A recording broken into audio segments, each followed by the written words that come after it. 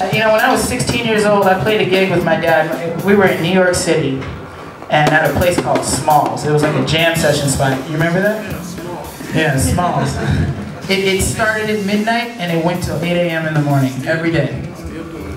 And uh, my dad took me there at a young age. He said, you know, just bring your stick bag, let's go. I said, okay, sure.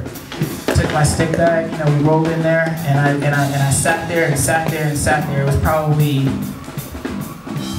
six in the morning by the time I actually got the chance to sit down behind the drums. And um, the song I requested was Straight No Chaser, but I did it like like real fast, like to where it was it was tough to keep up just a little bit. But you know me, I walked in, I was young, and I was like, you know what, let's do this. Let's, let's see how, I was testing them, but meanwhile, I was testing myself. So we got up there, and for about 45 minutes, I jammed this tune. It did not stop. I watched the trumpet player switch off, I watched the, the guitar player change, I watched two piano, piano players get up and switch off, and I'm sitting up there just like, oh man, like I'm still going, I'm still going. When I got outside, the sun was up. And um, that taught me a really good lesson.